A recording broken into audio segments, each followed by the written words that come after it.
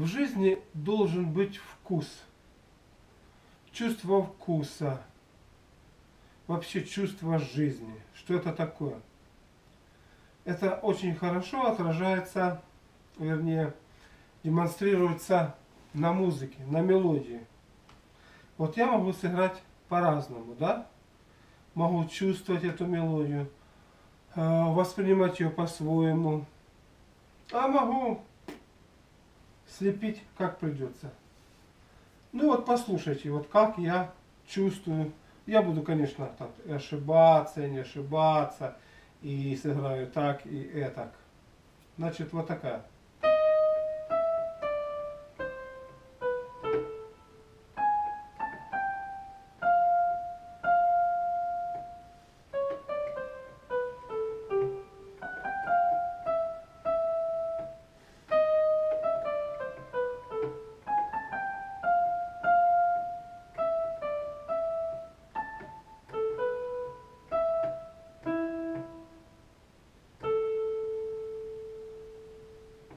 То есть вот так я ее сыграл. А можно же просто сыграть.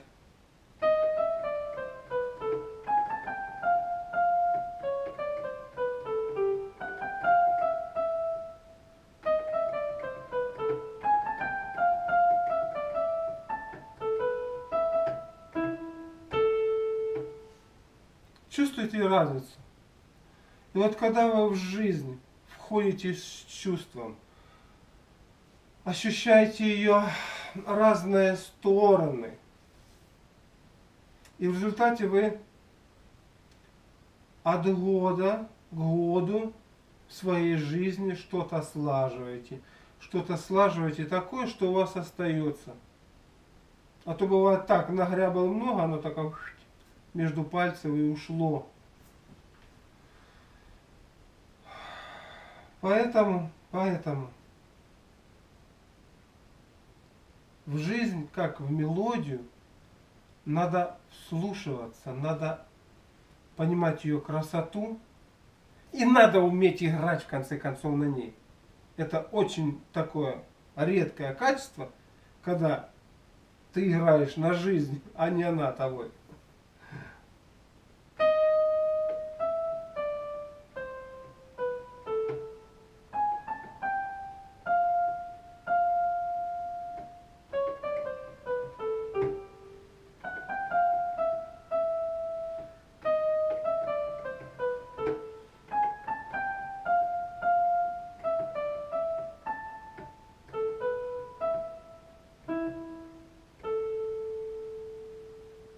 То есть слушать, вот один звук догоняет другой, создает, налаживаясь друг на друга, создает вот какой-то совсем третий звук, чарующий.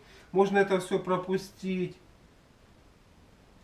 И в итоге жизнь получается неинтересна, только бухаешь и все. То есть ты не нашел изюминку в жизни. У каждого человека она своя. А то мы все любим красиво есть там. Мужчины красивых женщин, женщины красивых мужчин, такую сытую, короче, обеспеченную жизнь, так вот любим. Но она-то слаживается. И не обязательно она должна быть сытая, там, обеспечена. Она должна быть такая, чтобы она тебе нравилась. Нравилась вот как мелодия, чтобы ты сыграл, ты туда ушел. И это дало какой-то отклик. Ведь сейчас интернет. Интернет показывает беспроводные э, системы связи. То есть они как бы нам наглядно демонстрируют. Вот ты даешь какой-то запрос. И тебе приходит ответ.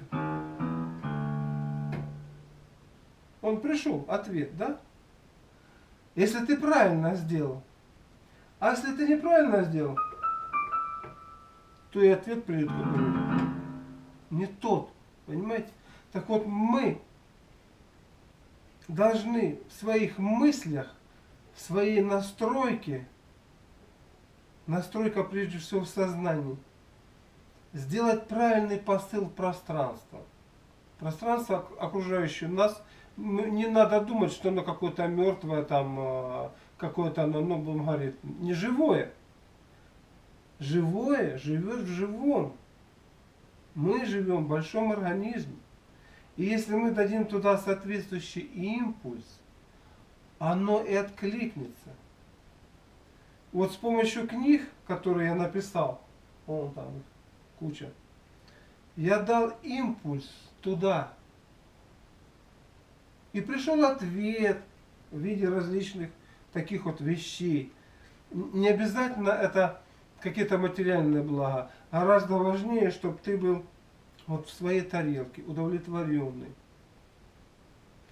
Дальше действуешь, вот ты посылаешь туда сигнал, да, от себя, мысленный посыл, э, не сомневающийся.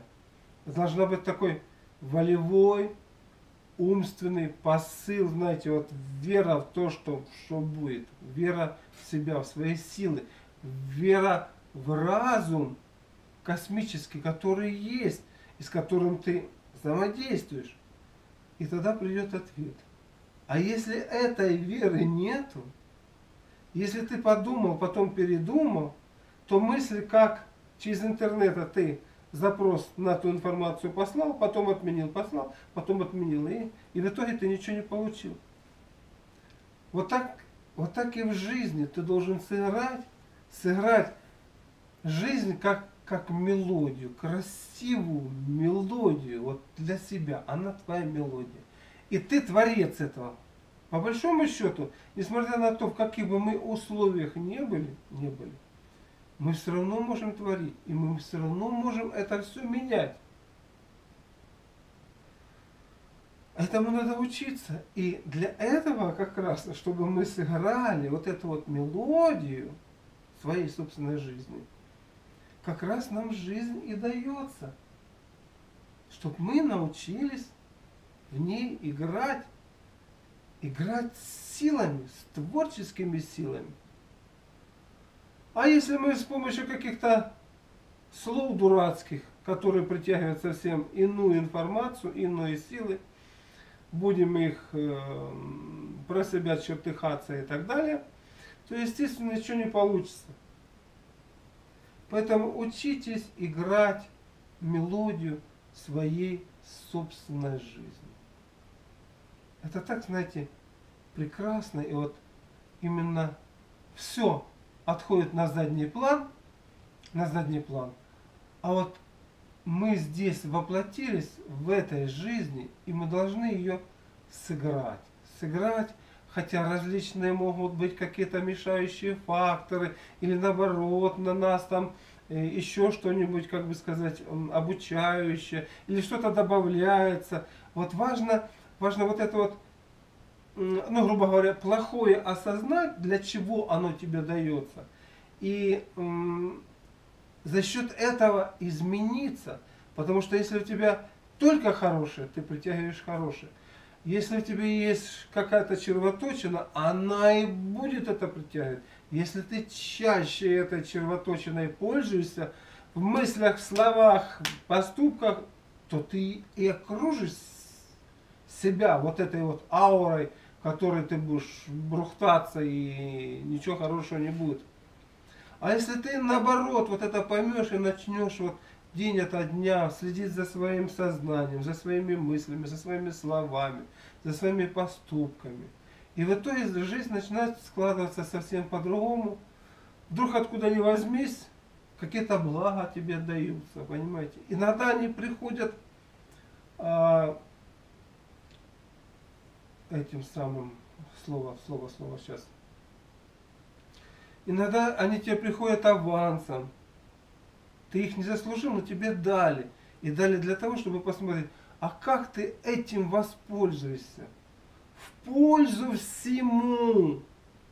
Либо же во вред всему. Вроде бы на пользу себе, а во вред окружающим.